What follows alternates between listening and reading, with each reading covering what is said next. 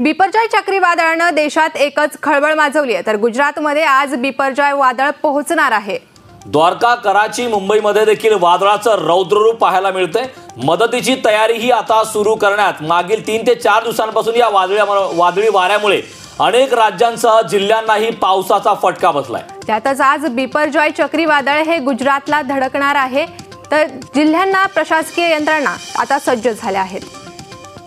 तर बिपरजॉय वादळाचा धुमाकूळ हा सध्या सुरूच आहे. यामुळे द्वारका कराची मुंबईसह रौद्ररूप यावेळी पाहायला मिळते.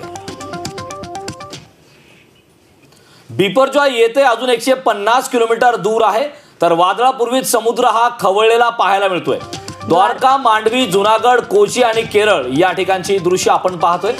बिपरजॉय वादळाचा धुमाकूळ हा सुरूच आहे. वादळापूर्वी हा समुद्र मात्र ख- समुद्र हा खवळलेला आहे. त्यामुळे समुद्र किनारी असलेल्या नागरिकांना यावेळी स्थलांतरित करण्याचे प्रयत्न सुरू आहेत. सर्वांना यावेळी अलर्ट देखील करण्यात आलाय.